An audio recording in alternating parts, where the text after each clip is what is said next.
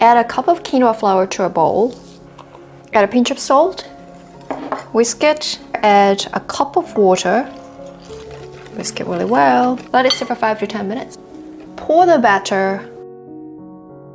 Spread it.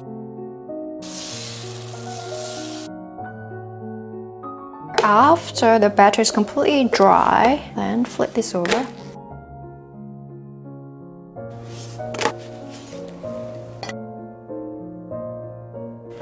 And you can fold it like that as well